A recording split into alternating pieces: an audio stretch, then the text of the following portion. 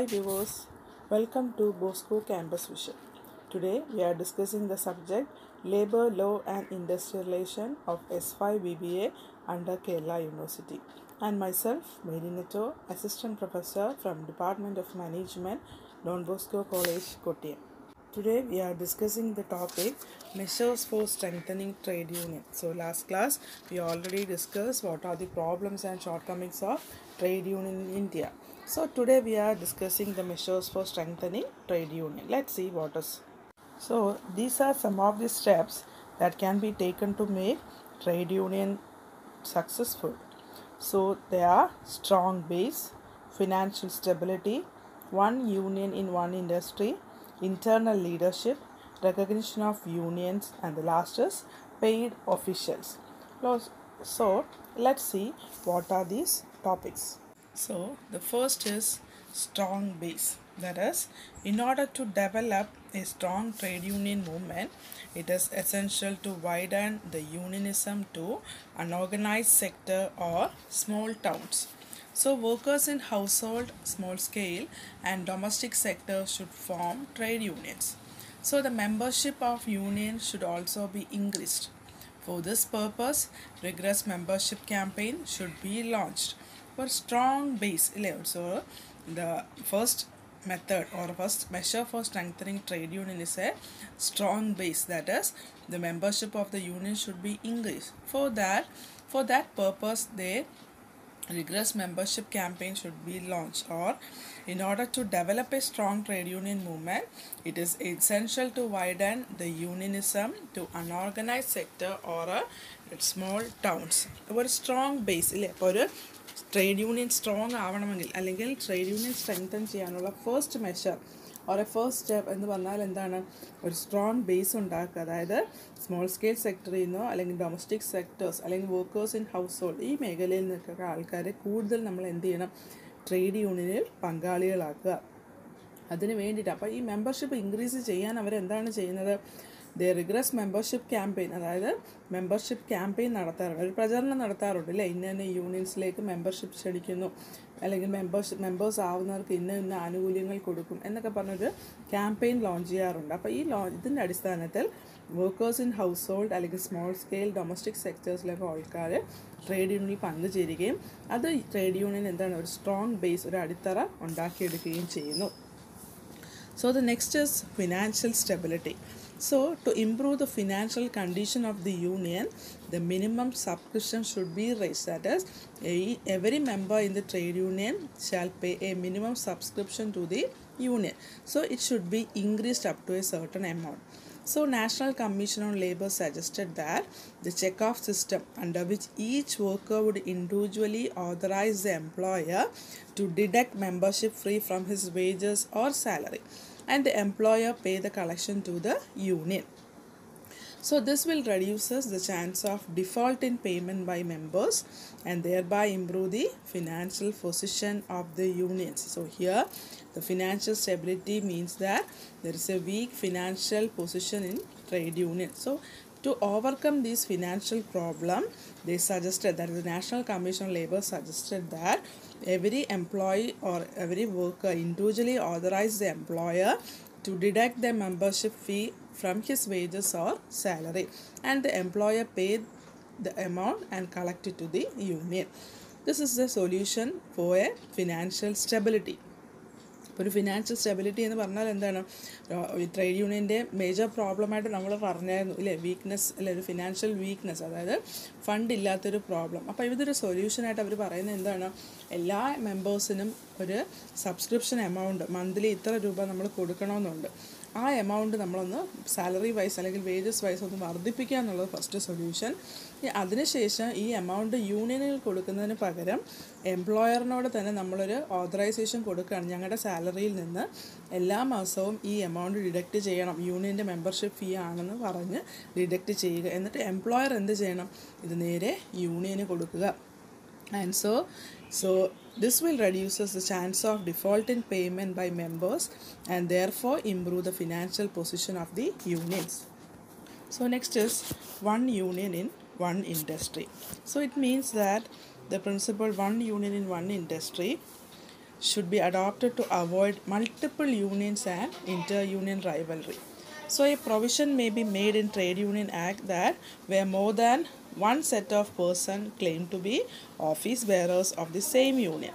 So the matter should be decided by central organization to which the union is affiliated by or a labor code. So here one union in one industry. It says that it should be avoided adopted to avoid multiple unions and inter-union rivalry.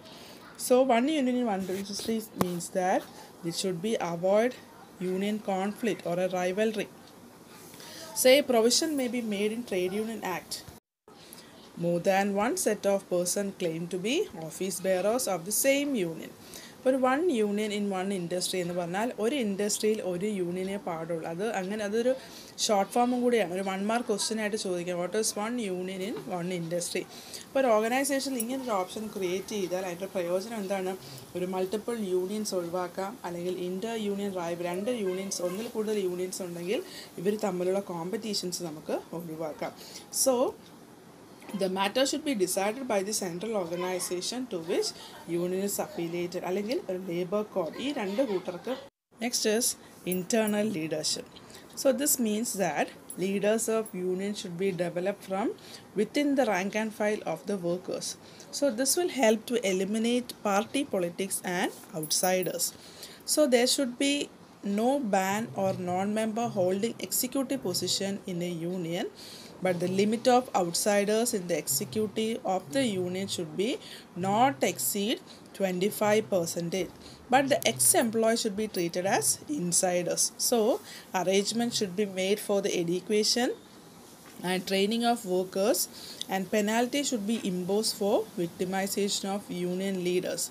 So unions should throw away the control of political parties and politicians. So internal leadership it means that the party politics or the outsiders may leading the industry units so internal leadership means that leaders of the unit should develop from within the rank and file of the workers അപ്പം ഒരു internal leadership എന്ന് പറഞ്ഞാൽ എന്താണ് industry ഒരു യൂണിയന്റെ leadership അല്ലെങ്കിൽ യൂണിയനെ നിയന്ത്രിക്കുന്നത് ഇൻഡസ്ട്രിക്ക് അകത്തുള്ള ഒരു വ്യക്തികൾ അല്ലെങ്കിൽ യൂണിയൻ അകത്തുള്ള മെമ്പേഴ്സ് ആയിരിക്കണം അങ്ങനെ അല്ല എന്നുണ്ടെങ്കിൽ ഔട്ട്സൈഡ് പാർട്ടീസ് അല്ലെങ്കിൽ ഔട്ട്സൈഡേഴ്സ് ഇതിനകത്ത് ഇടപെടുകയും അത് ഇൻഡസ്ട്രിക്ക് മോശമാകുകയും ചെയ്യും. അതുകൊണ്ട് തന്നെ there should be no ban or a no member holding executive position in a union അപ്പം യൂണിയൻ അകത്തുള്ളവർക്ക് വേണമെങ്കിൽ എന്ത് ചെയ്യാം? എക്സിക്യൂട്ടീവ് പൊസിഷനിലേക്ക് ഇരിക്കാം. But there is a limit for outside executives പുറത്തുള്ളവരെ അതിനകത്ത് നിയമിക്കുന്നതിന് ചില എന്താണ് തടസ്സങ്ങളുണ്ട്. ദർ ഇസ് എ ലിമിറ്റ് ഉള്ളി പക്ഷേ ex employees be treated as insiders ഇനി അകത്ത്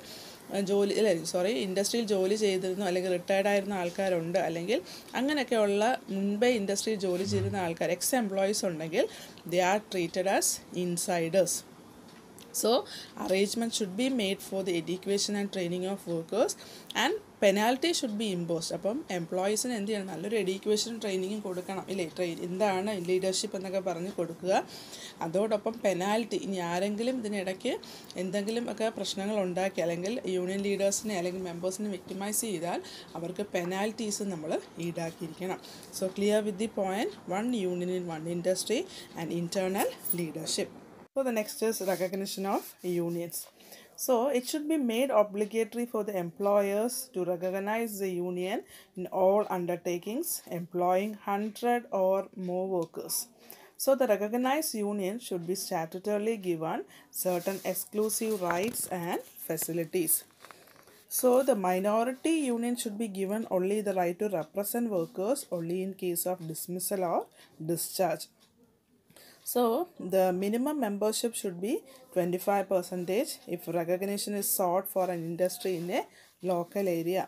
So the representative character of a union may be decided through secret ballot or examination of membership record. So it should be made obligatory for employer to recognize the union in all undertakings. That is, the employers uh, employing 100 or more workers എന്താ recognition? നമ്മൾ recognition of union detail ആയിട്ട് പഠിച്ചു അല്ലേ or in the last section we already discussed the recognition of trade unions. അപ്പോൾ in continuation with that we can discuss അല്ലേ? അതിന് പറയുന്നത് എന്താണ്? ഒരു എംപ്ലോയറിന്റെ ഉത്തരവാദിത്തമാണ് അല്ലേ? ഇൻഡസ്ട്രിയിലുള്ള യൂണിയൻസിനെ അംഗീകാരം അതായത് ഒന്നിൽ കൂടുതൽ ഉണ്ടെങ്കിലല്ല നമ്മൾ പറഞ്ഞു ഏറ്റവും കൂടുതൽ മെമ്പർഷിപ്പ് ഉള്ള ഏത് യൂണിയനാണോ അതിനെയാണ് employer അംഗീകരിക്കേണ്ടത്.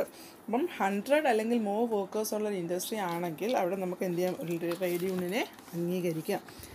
So, a trade union seeking recognition as a bargaining agent and should have a membership of 30 percentage of the workers in the establishment. അപ്പോൾ ഇൻഡസ്ട്രിയിലെ മുപ്പത് ശതമാനം വർക്കേഴ്സ് അടങ്ങുന്ന ഒരു ട്രേഡ് യൂണിയൻ ആണെങ്കിൽ അവരെ നമുക്കൊരു ബാർഗൈനിങ് ഏജന്റായിട്ട് നമുക്ക് അംഗീകരിക്കാം അല്ലെങ്കിൽ ട്രേഡ് യൂണിയനായിട്ട് എംപ്ലോയർക്ക് അംഗീകരിക്കാം and we can see that the recognised union should have a statutorily certain exclusive rights and facility അപ്പം അംഗീകരിച്ച യൂണിയൻ ആണെങ്കിൽ ഇൻഡസ്ട്രിയിൽ അവർക്ക് എന്താണ് ചില എന്താണ് ഒരു റൈറ്റ്സ് ഇല്ലേ അവർക്ക് ചില നിർദ്ദേശങ്ങൾ അല്ലെങ്കിൽ അവർ എങ്ങനെ ആയിരിക്കണം അവർക്ക് ചില അധികാരങ്ങൾ ആര് കൊടുക്കാറുണ്ട് എംപ്ലോയേഴ്സ് കൊടുക്കാറുണ്ട്. Clear with the point and the last is paid officer we already discuss this in the last portion that is full-time paid officials should be appointed to manage the affairs of trade union.